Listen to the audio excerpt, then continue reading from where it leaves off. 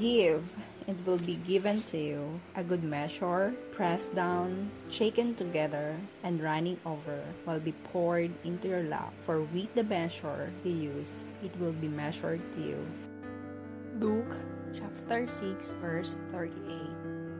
I don't really give much attention to this verse, although I heard it so often until I experience it. Then that's the time I realize what it's really meant. Time passed so quickly. I didn't realize that it's been three years since I joined the ANCOP program. A friend of mine introduced me to this program and asked me if I care about sponsoring or helping those deserving children in the Philippines who wants to study but unable to afford it. And without any further discussion, I said yes. So for three years, I've been sending money to this ANCOP education program. When we give from the heart, we didn't expect anything in return.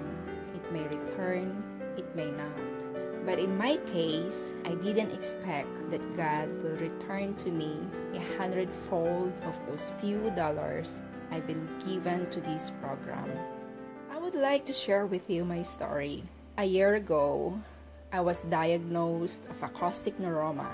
It is a benign tumor that develops on the nerve that connects the ear to the brain. The tumor usually grows slowly. As it grows, it presses against the hearing and the balance nerves.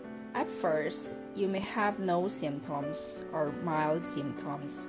They can include loss of hearing on one side, ringing in ears, dizziness, and balance problems. The tumor can also eventually cause numbness or paralysis of the face. If it grows large enough, it can press against the brain, becoming life threatening. Mine is a bit large, so the doctor said I need to undergo surgery as soon as possible. At that news, I felt numb, then cried. Then later, I asked the doctor what will be the complications. Point blank, she told me that I may lose hearing of the affected ear, or I will have a balance problem or the side of face that is affected will become paralyzed. With this thought, it scares me to death. I am so scared. I have no family to be with me. I brace myself to go on with the procedure.